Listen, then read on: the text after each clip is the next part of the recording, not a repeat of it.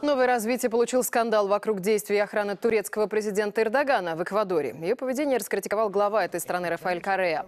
По его словам, люди, отвечавшие за безопасность Эрдогана, не имели права вести себя подобным образом в чужом государстве. Напомню, на минувшей неделе турецкий президент прилетел в Эквадор. Местные протестующие встретили его криками «убийца» и «террорист». Охрана Эрдогана при этом реагировала крайне жестко. Убийца! Убийца! В потасовке пострадали даже эквадорские парламентарии, которые пытались заступиться за демонстрантов. Одному из депутатов сломали нос.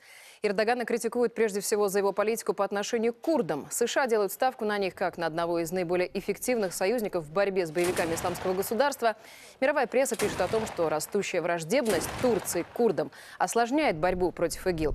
Напомню, Эрдоган осудил недавнюю поездку спецпредставителя США в сирийский Курдистан и призвал Америку сделать выбор между Турцией и курдами. ね。